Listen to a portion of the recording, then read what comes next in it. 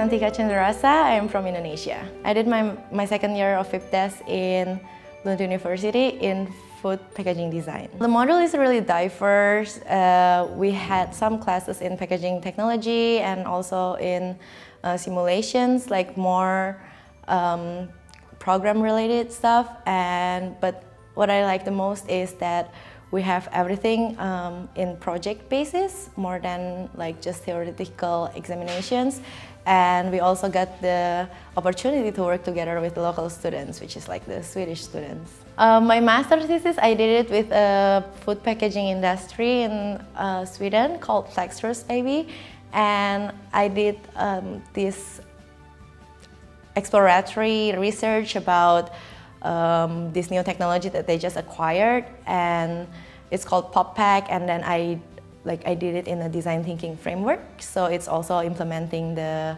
methodology, the innovation methodology that I studied in the senior project course. I would like to work in more like a startup scene, well obviously related to food uh, like development and research and development department and yeah, for now, I'm a little bit more leaning on the startup scene because it's a little bit of like entrepreneurial, entrepreneurial, and then also a little bit more like dynamic, and the innovation is still a little bit more flexible in a way.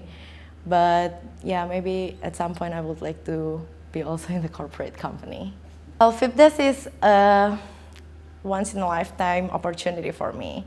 I met a lot of friends from all over the world and like we're like family. We live together and then we move to, around together and then even when we're like in these different countries uh, for, your, for our second master, second year of master, we still had a really good communication. Like we're just like family and I really hope that in the future, no matter where we are, um, in wherever country we will be settling in, we will still maintain the connection and I also met a lot of great professors and administrators that are like our parents during this program.